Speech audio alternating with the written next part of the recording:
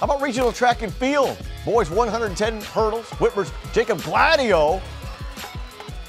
Got the story about him and our media partner, the Toledo Blade. 14-1-9 takes second in the hurdles. Girls 4x200 relay start. Fastest time in the prelims. Spartans finished second. Sierra Pfizer on the anchor. Good enough for qualifying for a state meet. 4x1 Spartans take first place, 4.847 the time.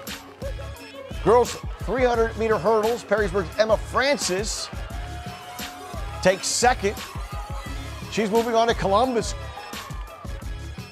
Rogers Gabe Foster wins the 800. Whitmer's Jacob Harris wins the 3200.